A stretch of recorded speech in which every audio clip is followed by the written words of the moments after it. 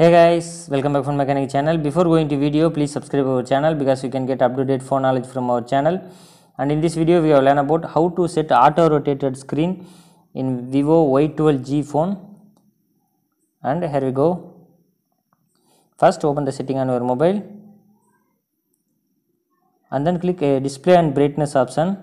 After that enable auto rotated screen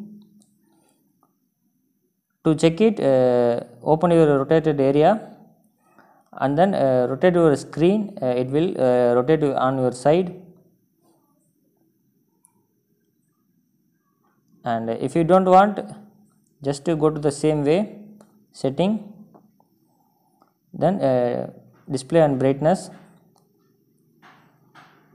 Disable auto rotated screen. There is another way for uh, open your notification area then uh, click auto rotated screen.